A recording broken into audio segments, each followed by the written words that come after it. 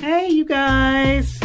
I just want to come back and touch base with you to show you my hair. Because I told you that I was going to cut it all off because I'm just, I was tired of it. I was basically tired of my hair because, you know, being that I have that COPD and it's very hard for me to comb my hair. It's, it's very tiring.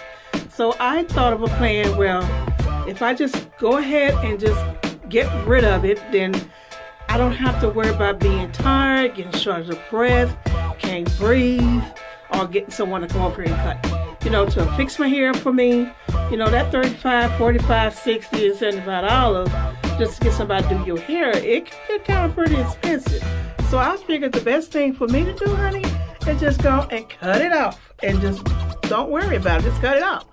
And if people laugh about it, then okay, well, then that's their problem. This is my hair, and I have the right to do that.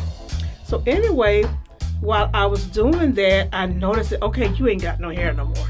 And all my hard brushes and stuff that I got by Red and different other companies, I could not use them because it was like literally hurting my head. So I went to my trusted site, Amazon, and found this brush right here. Can you see it, guys? This brush right here, it just came. And I'm telling you, it's by uh, Torino, Toronto, Toronto Pro. But it is a very good brush, guys. And I'm telling you, you really need to invest in a brush like this.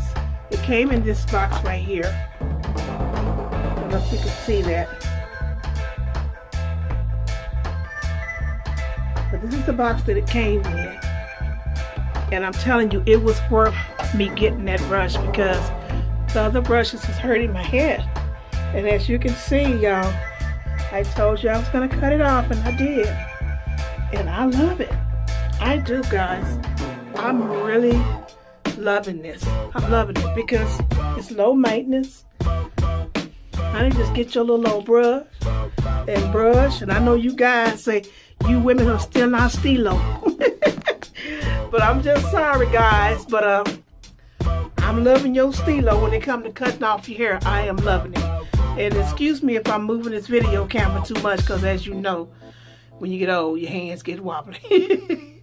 but I just wanted to come and shout out to you guys to let y'all know that I'm okay